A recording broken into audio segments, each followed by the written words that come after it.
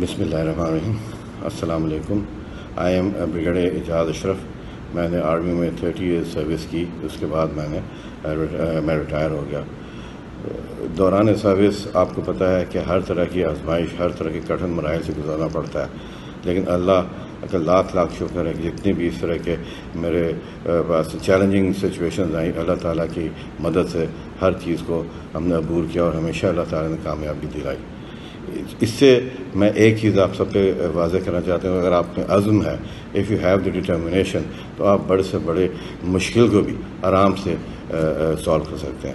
یہاں میں یہ کہوں گا کہ آج کل تھیلسمیا پہ بہت کام ہو رہا ہے، اور ہم چاہ رہے ہیں کہ پاکستان ایک تھیلسمیا فری سوسائٹی ایک تھیلسمیا فری کنٹری بن جائے۔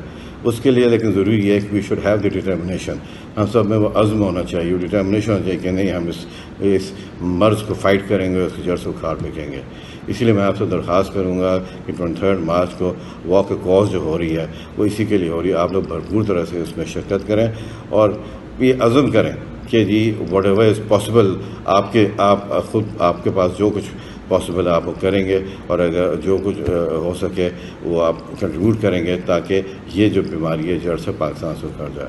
آئی ایم شیور اگر سب لوگ اپنا حصہ اس میں ادا کریں گے تو بہت جلد پاکستان سے تھلمسیا ہمیشہ لیے ختم ہو جائے گا اور کتنی جانیں بچ جائیں گی۔ ٹھیک ہے؟ تھینک یو ویری مچ اللہ حافظ۔